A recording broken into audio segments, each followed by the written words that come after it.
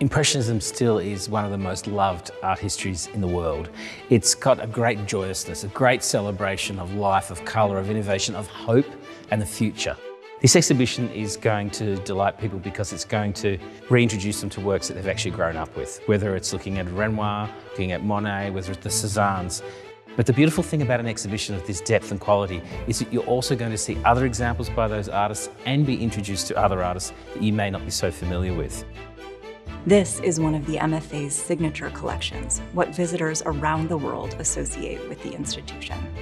Part of the enduring appeal of Impressionist paintings more than 100 years on from when they were painted is that these are artists and artworks that champion the everyday, immediate surroundings, and modern life. It's hard to describe the experience of seeing all these works together, of being in person with so many magnificent works of art. It can be really energizing. The luminous color palettes, the rich, varied brushstrokes provide so much to see and to think about.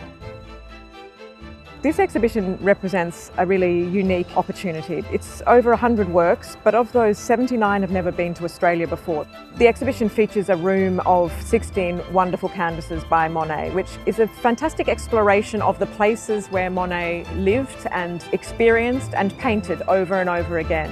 When you see his paintings en masse, you see the consistency of his approach to nature. As a viewer, it helps you think about that moment of encounter with an artwork, of experiencing something of such visual beauty.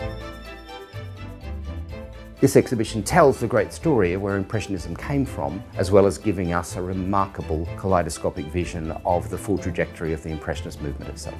We hear little quotes from each of the artists in the exhibition that reminds us they were real people. They were friends, sometimes they were frenemies. They were in competition with each other as much as in collaboration. The vibrancy of the palette, the texture of the paint, the movement of the artist's hand, it's all here and it's incredibly emotive and evocative and something that just transforms you. Spend as much time as you can with each work and uh, I guarantee you you'll feel a lot better at the end of it.